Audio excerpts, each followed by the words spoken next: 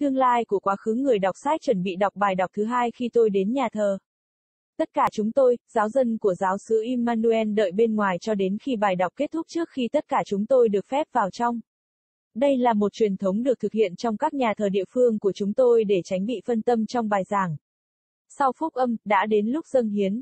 Sự chú ý của tôi nhanh chóng bị thu hút bởi những đứa trẻ nhỏ đang vội vã chạy đến chỗ cha mẹ của chúng để thu thập thứ mà chúng gọi là lễ vật. Ngay lập tức tôi chìm đắm trong suy nghĩ, hồi tưởng lại việc tôi cũng đã thu thập đồ cúng như thế nào từ bố tôi. Ở đất nước tôi, bố thí là một trong những giáo lý thiết yếu của nhà thờ, do đó bố thí rất được khuyến khích. Ngoài linh mục bố tôi đã dạy chúng tôi rằng bản chất của con người là cho đi và ông luôn đảm bảo rằng ông sẽ cho chúng tôi tiền vào mỗi chủ nhật. Tôi đang ở trong thập kỷ đầu tiên của cuộc đời mình, 7 năm để được chuẩn bị. Bố tôi luôn đảm bảo chúng tôi đến các thánh lễ ngày Chủ nhật sớm nếu không sẽ phải đối mặt với một số hậu quả nghiêm trọng.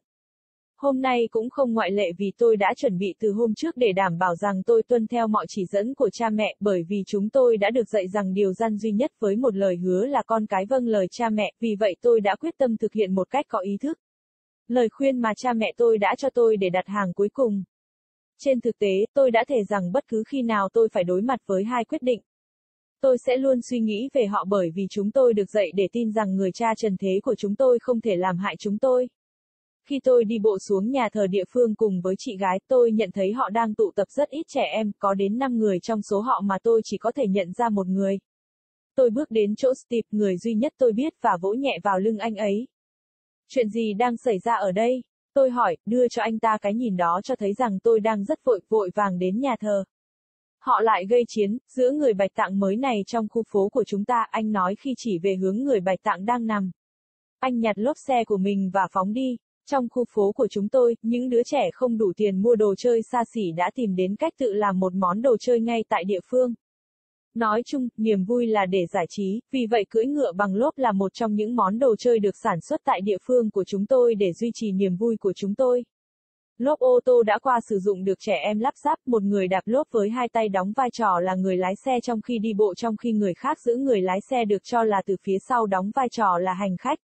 Trên mỗi hành trình kế tiếp, hành khách trả tiền cho tài xế bằng một tờ giấy do chính họ thiết kế riêng. Điều này mang lại cho chúng tôi niềm vui khi còn nhỏ.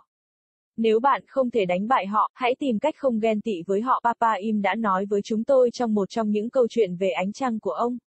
Papa Im thích tụ tập chúng tôi vào ban đêm để chia sẻ với chúng tôi câu chuyện về cuộc đời ông. Những câu chuyện của anh ấy nhằm giúp chúng ta phát triển đạo đức. Tôi nhớ câu chuyện về một con chuột người khác để chứng minh một quan điểm đã theo chân con thần lằn trong một cuộc hành trình thần bí. Khi họ quay trở lại, trời mưa to và cả hai không tìm được nơi trú ẩn nên đã đi trong mưa. Vài phút sau khi họ về đến nhà, con thần lằn đã khô trong khi con chuột đã kiệt sức và hầu như không thể di chuyển. Con chuột đi theo con thần lằn nên sẵn sàng gánh chịu hậu quả Papa Im nói khi kết thúc câu chuyện động vật.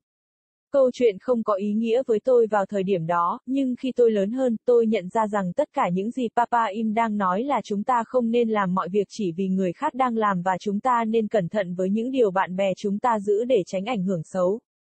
Cuối cùng tôi cũng xoay sở và tìm được đường và nhìn thấy người bạch tạng đang nằm khóc. Anh ta bị chế giễu một cách lố bịch và bị chê bai vì màu da của mình. Thực tế, trường hợp hôm nay quá tệ, những đứa trẻ trong khu phố của tôi đã đi thêm dặm bằng cách đẩy anh ta trên sàn nhà. Chỉ có Chúa mới biết họ có đánh anh ta hay không.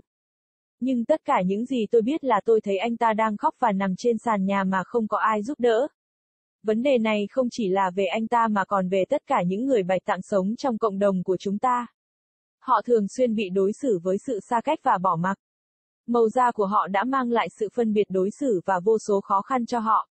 Tôi nắm tay anh ấy và nâng anh ấy lên.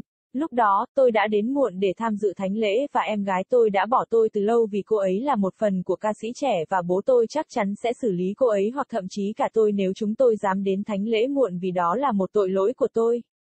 Cộng đồng nếu một linh mục nên vào nhà thờ trước bạn giáo dân. Nhưng trước tiên tôi không thể không nghĩ đến nhân loại, tôi không thể nghĩ gì khác hơn là giúp đỡ cho sự sáng tạo tốt bụng này của Chúa. Tôi đi bộ dọc theo con đường dẫn đến nhà anh ta và đưa cho anh ta số tiền ít ỏi mà tôi có vì anh ta đã mất tiền vì bệnh tật đó, số tiền dùng để nuôi sống bản thân và người mẹ ốm yếu tội nghiệp của anh ta. Tôi đã dâng tiền cúng dường nhà thờ của tôi, anh ấy cảm ơn tôi và tôi chạy đến nhà thờ mà không quan tâm đến trọng lực của những gì tôi ha. The future of the past the lector was about taking the second reading when I came to church. All of us the parishioner of Emmanuel Parish waited outside for the reading to end before we were all allowed inside. This is a tradition done in our local churches to avoid distraction during homily. After the gospel, it was time for offering. My attention was quickly drawn to the little children who was rushing to their parents to collect what they call offering. Immediately, I was lost in thought reminiscing how I also collected offering from my dad. In my country, giving is one of the essential teachings of the church, hence giving offering is highly encouraged. Apart from the priest, my dad taught us that the essence of humanity is to give and he always ensures he gives us money each Sunday. I was in the first decade of my life, seven years to be precede. My dad always ensures we come to Sunday masses early or face some severe consequences.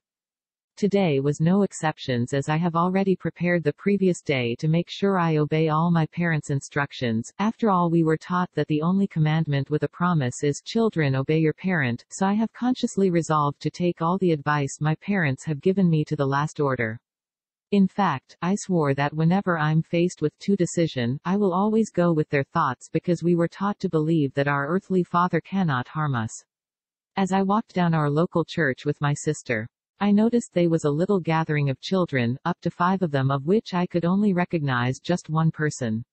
I walk up to Steve, the only one I knew and tapped him on the back, what's happening here? I asked, giving him that look that indicates that I was in a hurry, hurry rushing to church. They have been a fight again, between this new albino in our neighborhood, he said as he pointed to the direction the albino was lying. He picked up his tire and zoomed off. In our neighborhood, children who couldn't afford the luxury of toys resort to making one themselves locally. After all, the joy is to entertain ourselves, so tire riding is one of our locally fabricated toys to keep our joy going on. Used car tires are assembled by children, one pedals the tire with the hands acting as a driver while walking while another holds the supposed driver from behind acting as a passenger. On each successive journey, the passenger pays the driver with a paper they specially designed by themselves. This gives us joy as children. If you can't beat them, find a way not to envy them, Papa Eam had told us in one of his moonlight tales. Papa Eam is fond of gathering us at night to share with us the story of his life. His stories is meant to help us in our morality development. I remember the story of the rat who in other to prove a point followed the lizard on a mystic journey. As they were coming back, they was a heavy rain and both couldn't find a place of shelter so they walked in the rain. Few minutes after they got home, the lizard was dry while the rat was drained and can barely move. The rat that follows the lizard should be ready to bear the consequences, Papa Eam said as he ended the animal story. The story didn't make sense to me at that time, but as I grew more older, I realized that all Papa Eam was saying is that we shouldn't do things just because others are doing and that we should be careful the kind of friends we keep to avoid bad influence. I finally managed and made my way and saw the albino lying down crying. He was ridiculously mocked and disgraced because of his skin color. In fact, today's case was too bad. Those children in my neighborhood went extra mile by pushing him on the floor. Only God knows if they also have beaten him, but all I knew was that I found him crying and lying on the floor, without help. This matter is not just about him but about all the albinos living in our community. They are constantly treated with disdain and neglect. The color of their skin has brought such discrimination and untold hardship for them. I held his hands and lifted him up. By then, I was running late for the mass and my sister has long left me for she was part of the junior choristers and my dad will surely deal with her or even me if we dare come to mass late as it was a sin in my community if a priest should enter the church before you the layperson. But I couldn't help but first think of humanity. I couldn't think of anything else than to offer help to this kind creation of God. I walked the Abino down the road leading to his house and offered him the little money I had because he lost his money on that incident, money that was meant for feeding himself and his poor sick mum. I offered my church offering money, he thanked me and I ran off to the church not considering the gravity of what I ha.